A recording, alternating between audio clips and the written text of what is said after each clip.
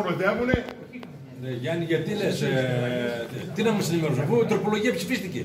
Ποιος την ψήφισε; Πέρασε με την ψηφία της κυβέρνησης. Τι περιμένουν τώρα δηλαδή; Να σε πούνε κάτι άλλο; 151 πήρε. Αντέδρασε κανένας κόσμος των τοπικών βουλευτής να πει ότι δεν το ψηφίζω, το φρενάρω; Να τους συζητήσουμε τους ανθρώπους τι γίνεται, τι σημαίνει πραγματικότητα, όχι. Τώρα τι περιμένουμε.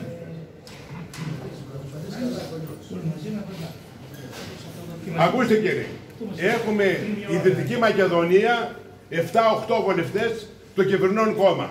Αυτοί αν ήταν όλοι οι πατριώτες, οι βουλευτές Νέας Δημοκρατίας της Κοζάνης, της Φλόρνας, της Καστοριάς, των Γρεβενών, γιατί θίγεται όλη η Δυτική Μακεδονία, έπρεπε να την άξουν την κυβέρνηση στον αέρα. Όχι να τη ρίξουν, ε, να του πούνε εδώ πρωθυπουργέ, τι κάνεις; Εδώ εγκληματεί εις βάρους 400 οικογενειών.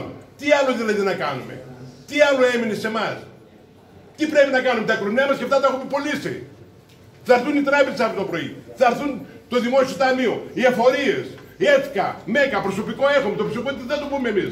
Ήδη εγώ προσχώρησα και έβαλα 25 άτομα σε ταμείο ανεργίας. Πώς θα τα αντέξουμε δηλαδή; Τι πρέπει να κάνουμε; Ούτε τα παιδιά του Χατζηδάκη θα πεινάσουν, ούτε το σόι του θα μείνει άνεργο, ούτε η οικογένειά του. Εμείς όλοι εδώ πουλήσαμε τις περιουσίε μας, μας τρώνε την, την τυράννια μας και μείναμε έρημοι τις τύχες. Τελείωσε, φτωχεύσαμε όλοι. Δείτε τα πρόσωπα ολονών και βγάλετε συμπεράσματα. Και ας το δει και ο κύριος Περιβιάκη σήμερα που ήταν πολιτικό πρόσωπο μέχρι χθες, και ας το δείτε όλοι εσείς. Αυτό έχω να πω ρε παιδιά. Τα λέω κάτω από αγανάκτηση. Δεν τα λέω γιατί μου αρέσει. Και βέβαια θα κάνουμε οποιαδήποτε κινητοποίηση μπορούμε. Και βέβαια και πάντα με ειρηνικό στόχο, με ειρηνικό σκοπό. Δεν έχουμε καμία διάθεση να μπούμε σε αντίθεση με κανέναν Έλληνα πολίτη.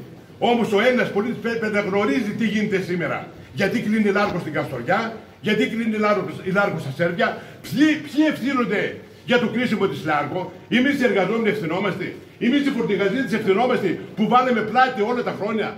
40 χρόνια πλάτη βάζουμε. Είδαμε αυτό το, το έργο, το είδαμε και το 1986-87.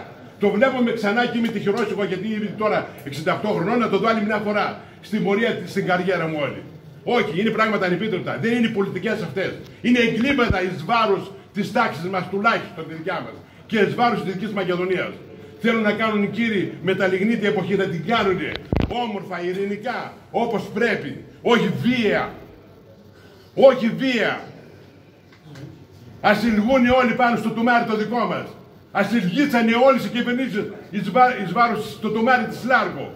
Ευθυνόμαστε εμείς εδώ οι φορτηγατζήδες που κουβαλάμε κάποτε είχαμε φέρει το κόμιστρα τη Λάρκο στη Λάρισα για να κάνουμε χαμηλά κόμιστρα για να βγαίνει Λάρκο.